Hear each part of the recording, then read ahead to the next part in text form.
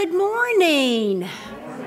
And welcome to worship at Park Hill Christian Church on this All Saints Sunday.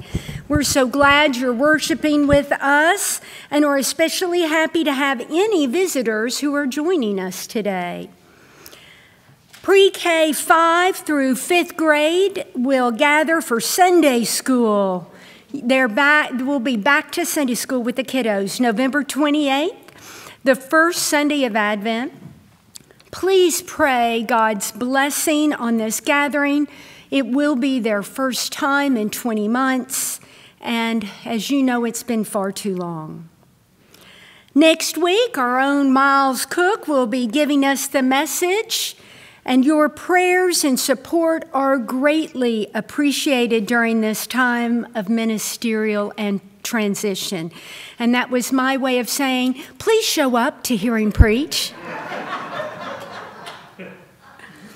there is a baby shower for Alyssa Carson Anglin. That will be two Sundays from today, November 21st, from 2 to 3.30 in the south parking lot. So it's a, a drive-through. You roll down the window, throw out the gift, wave maybe pick up a cookie and go on. It'll be fun.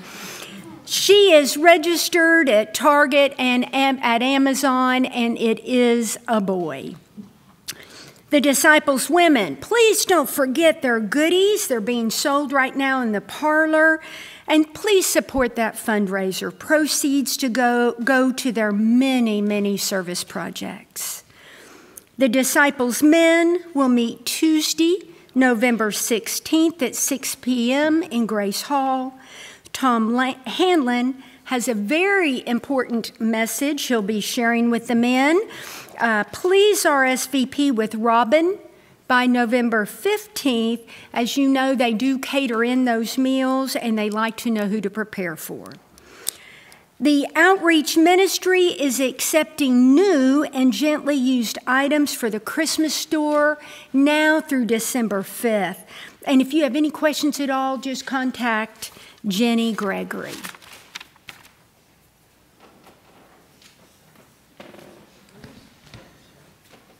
Right, our hymn of praise this morning is number 74. If you will, please stand and sing as we sing the first four verses of Our God, Our Help in Ages, in ages Past. Please stand.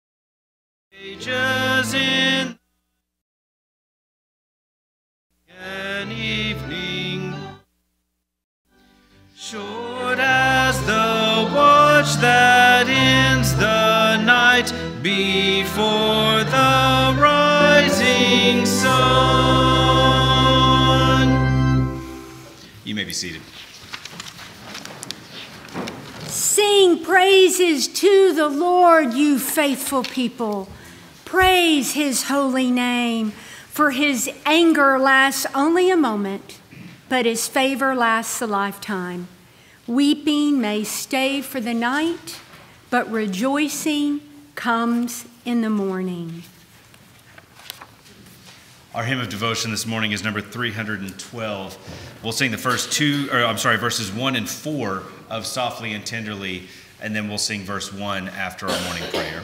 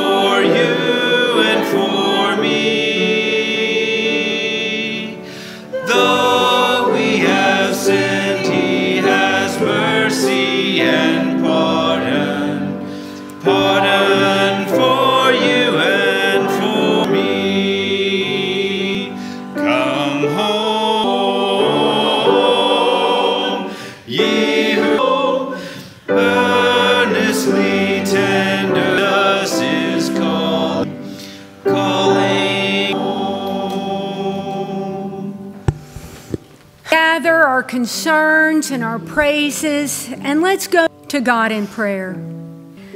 Precious Lord and present who have gone before us, it lost our share. Mothers, fathers, sons, charities, and so much more. Our sorrow deep. When we, Lord, you hold our heads and carry our Lord, but it is mean and we will you, God, for the depth of your love and the light of your we honor today. They touched our lives. Each ran brave, honorably set out for them. Lord, help us, these saints, through their love, charity, patience, sin, humor, hospitalized our lives, strengthened this church on earth. Lord, they have left new saints to take their place. So their work will be blessed and continue. Son's name, who taught us to pray, who art in heaven, hallowed be thy name, on earth as it is in heaven. Give us this as we forgive our debtors. Lead us not, but deliver us from evil. For thine is the kingdom and the prepare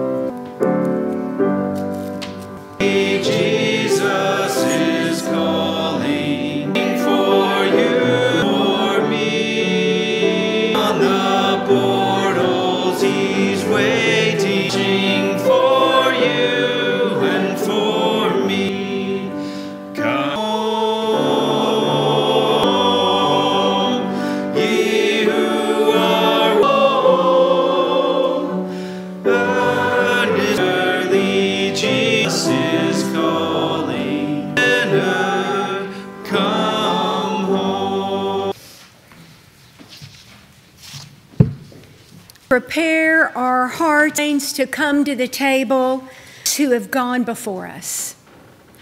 Let us focus giving and praise for their presence and their influence. Let us remember by asking God the same joy that they carried in their all believers are welcome to the table. Our hymn of preparation is number 365.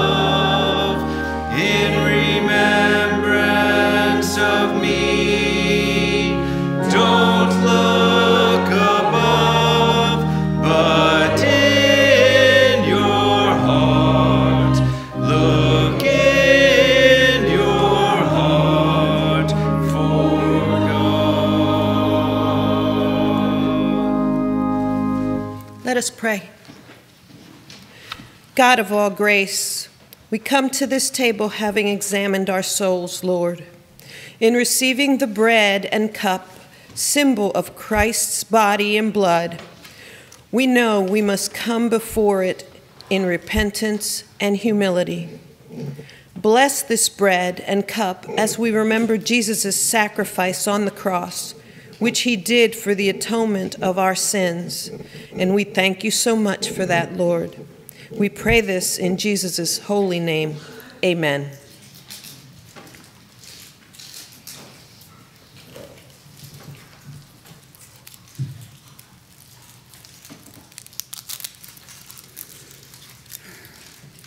That night in the upper room, Jesus took the bread, blessed it, gave it to his disciples, and said, My body for you. Do this in remembrance of me. And likewise, at the end of the meal, he took the cup. And he said, This is the new covenant in my body and in my blood. As often as you drink it, do this. For as all claim his death until he comes again.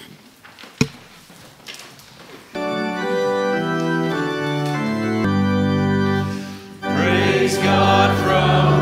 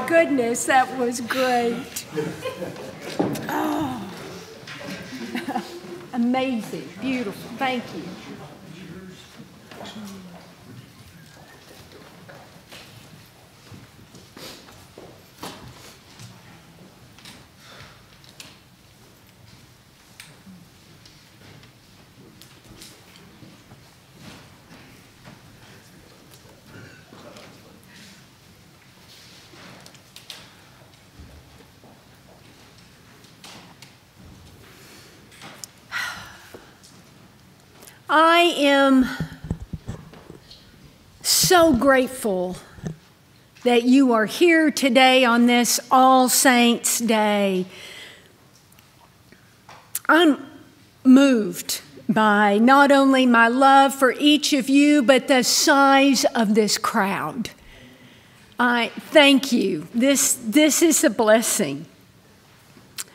Together, let us celebrate those who have gone before us this past year.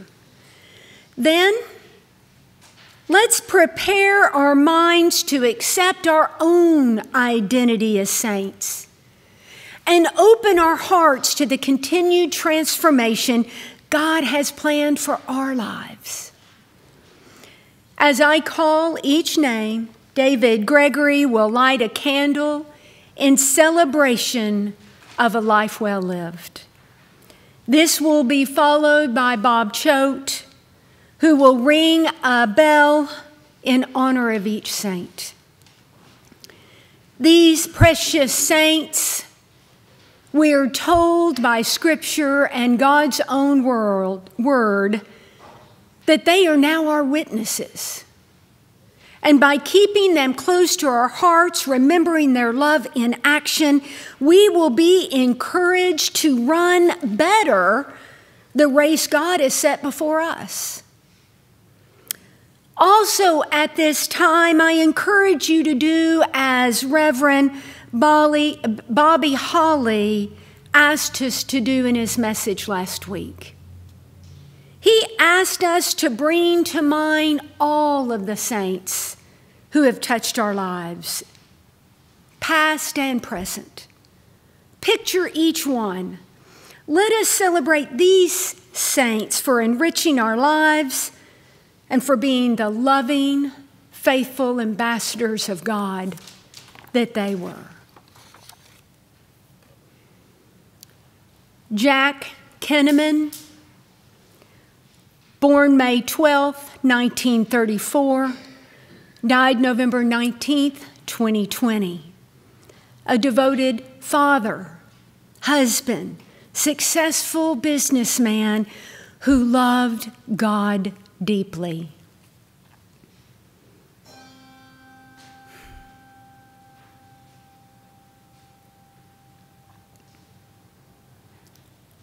Don Johannes born October 25th, 1955, died November 30th, 2020.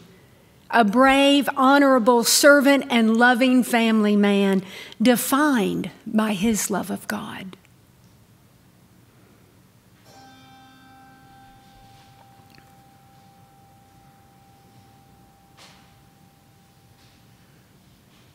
Conley Jackson Born February 13th, 1926, died January 7th, 2021. One of a kind. A strong believer who walked the walk and, according to a dear friend, walked.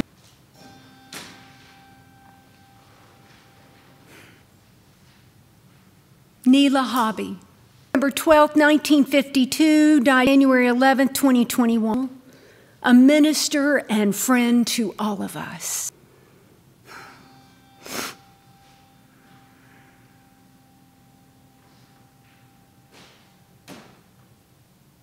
Andy Matthews, born July 25th, 1975, died January 30th, 2021. Andy Boy lived with a determination and heart that far eclipsed his physical limitations.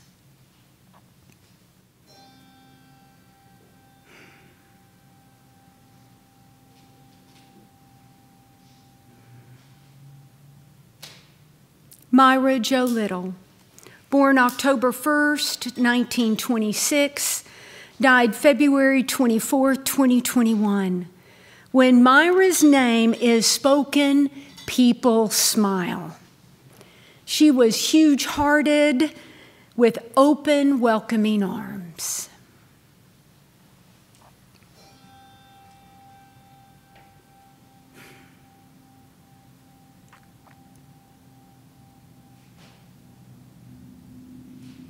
Sonia Bowling, born February 7th, 1939, died March 27th, 2021. Sonia lived as and loved Jesus like a child. She loved celebrating her birthdays and Christmas, but that never included Santa Claus, by the way. It was all about Jesus for Sonia. And she looked forward to seeing all of her family in heaven.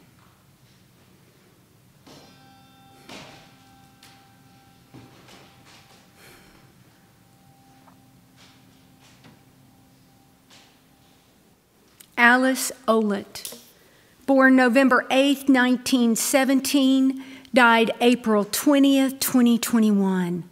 A talented woman committed to her family, her faith, her church, and her needlecraft.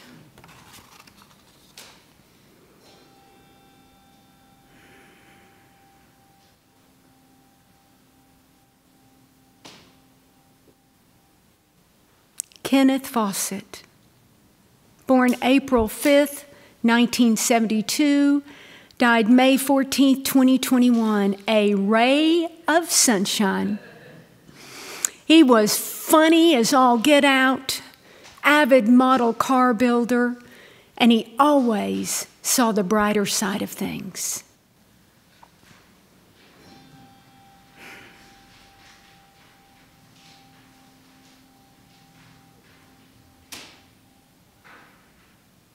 June Opp, born October 5th, 1924, died May 15th, 2021. Sweet and supportive of her husband, family, and always had a smile. And if you remember, she also always had a matching headband for every outfit.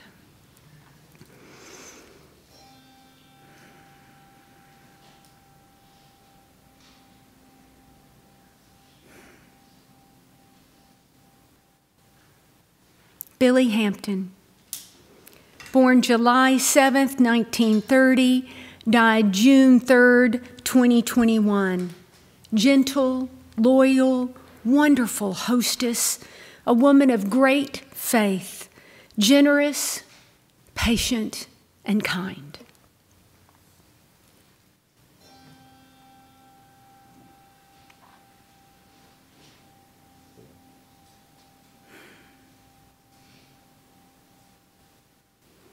Debbie Roselle, born February 17, 1955, died August 20, 2021. Debbie was beyond giving, deeply involved in church life and community, a devoted wife, mother, and friend.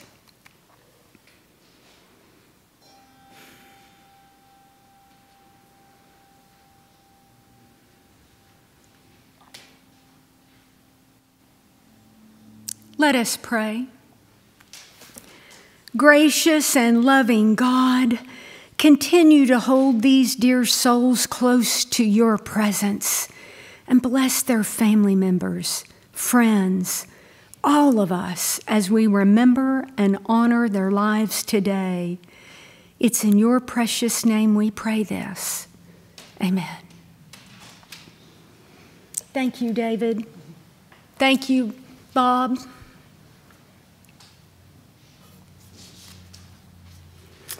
Saints,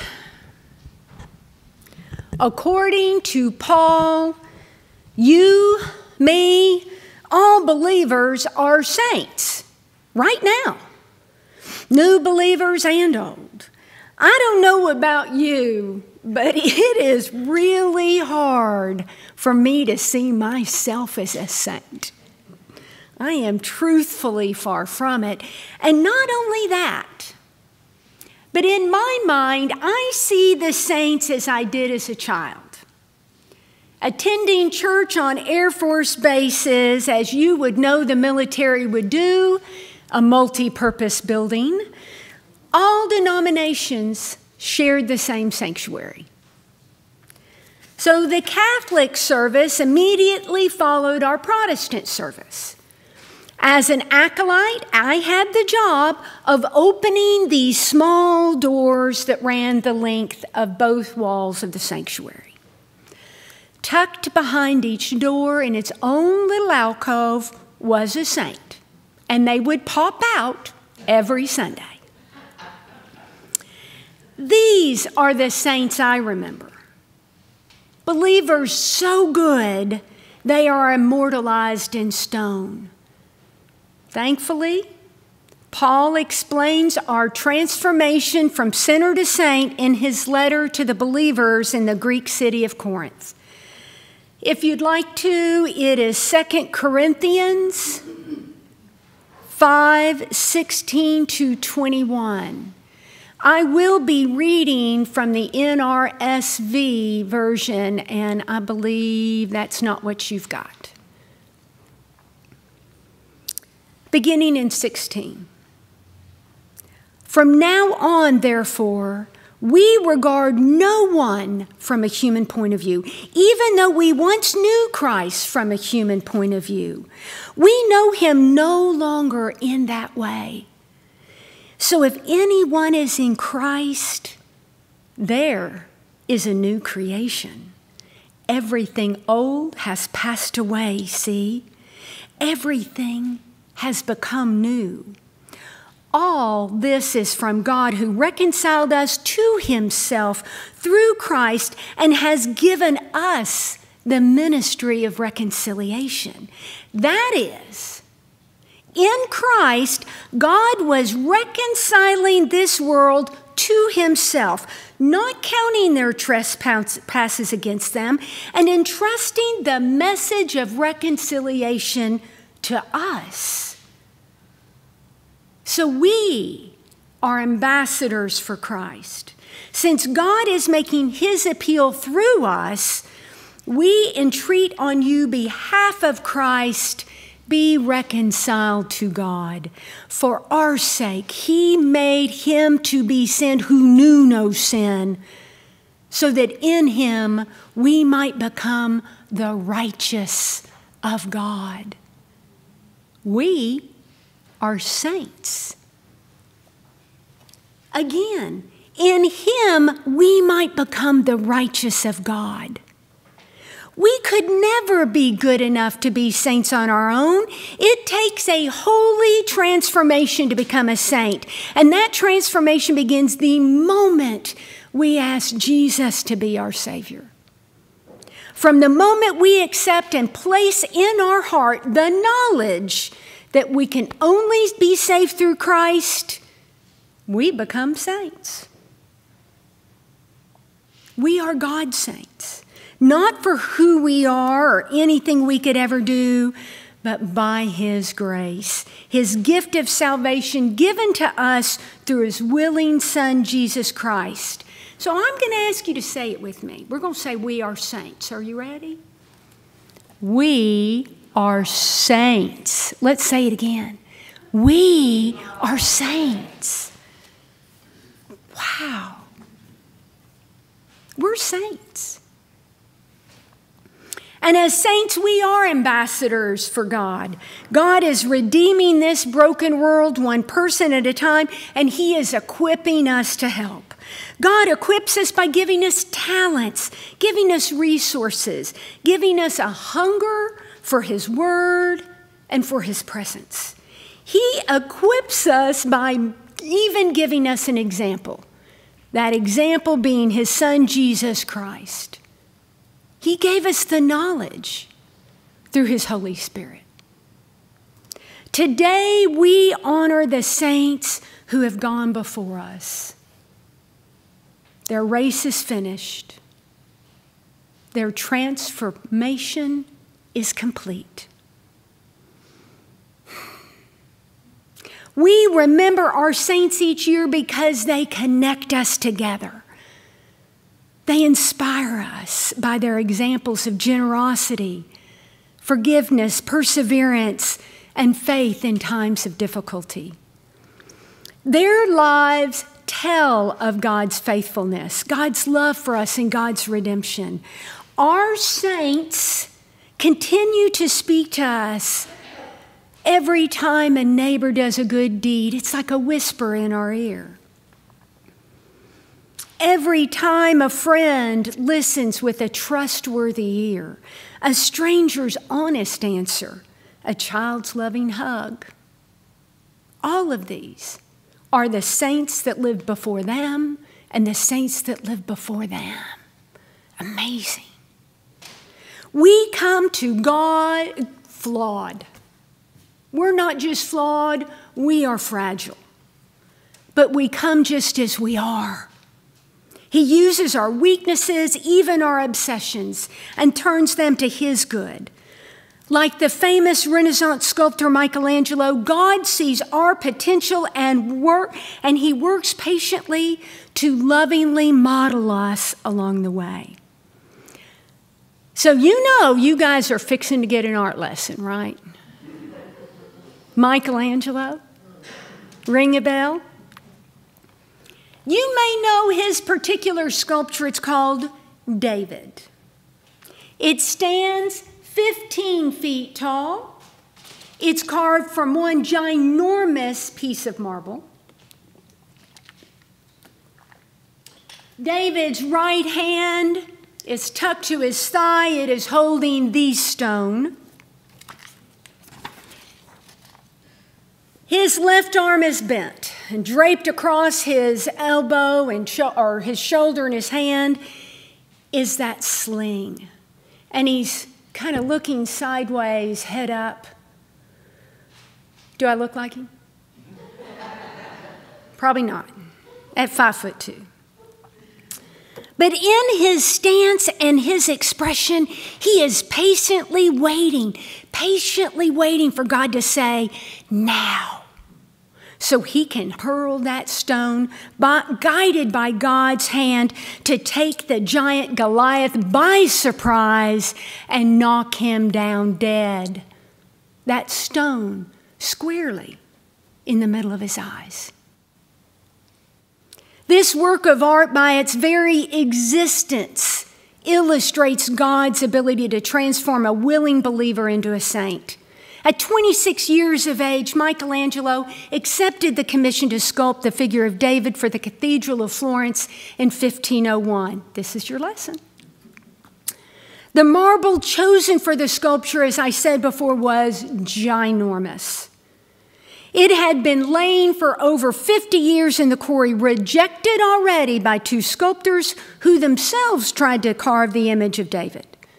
Both, very gifted sculptors, by the way, declared the massive stone unfit for use because the marble was brittle and it held a critically weak vein that could fail at any time. But Michelangelo stepped out in faith.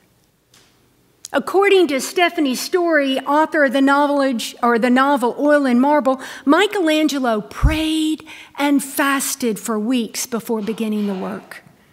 He put his faith in God and he was rewarded. David is considered one of 10 of the greatest works ever created by man. Over 1 million people per year view the colossal statue of David when they visit Florence, Italy. And this work, as well as his sculpture of the Pietà, which means mother and child in Italian, another lesson, and the painting of the Sistine Chapel, these three works of art are among the top 10 greatest pieces ever created by man. They have inspired and moved countless souls to seek God. So, marble, twice rejected and deemed worthless, is now a masterpiece. This is how God transforms the broken. One faith filled step at a time, removing the excess refining, burnishing, slowly God's image of our best selves emerges, not for our glory, but for His. We are saints in the eyes of our Father, saints in the heart of our Savior, and saints in the hands of our Holy Spirit. Let us accept and embrace our identity as we remember the saints who have gone before us. Let us allow God to continue His work in our lives so we too can be transformed daily by the race He has set before us. We are saints. Let us bow our heads. Lord, by remembering the saints who have gone before us, when we reflect and remember the light of your Son that shines so brightly in the way they chose to live, we remember your mighty works. We remember all that you have done and that it is all for our redemption and that our redemption begins the moment we accept your Son, Jesus, as our Savior. Thank you, Lord, for loving us so very, very much. In Jesus' name we pray. Amen. If there is anyone here today who feels called to accept Jesus as their Lord and Savior, to become a saint this very moment, please speak to me after the songs at the back of the church. Call me and at the church office or on my cell phone. We are beginning a pastor's class November 17th. Uh, that will be by Zoom if you have grandchildren who are interested in doing that. Anybody here that would like to transfer their faith? And be a loving member of this body of saints, we welcome you with our open arms. Again, you may see me after the song, behind uh, at the end of service, or by phone. Our hymn of commitment uh, this morning is number 355. We'll sing verses 1, 2, and 5 of For All the Saints. Please stand as we sing together.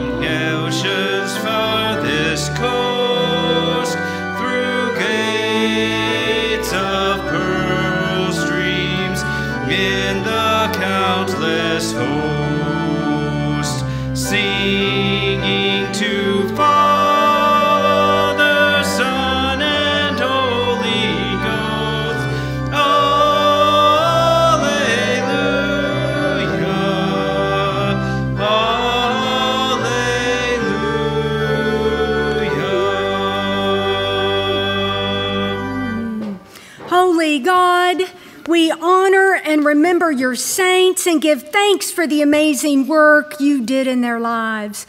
Lord, until our race is complete, keep your target of righteousness before us. Continue to cover us with your grace as we grow as saints, learning to live this life for your glory. Keep us and protect us until we meet again this next week. We ask this in your Son's name. Amen.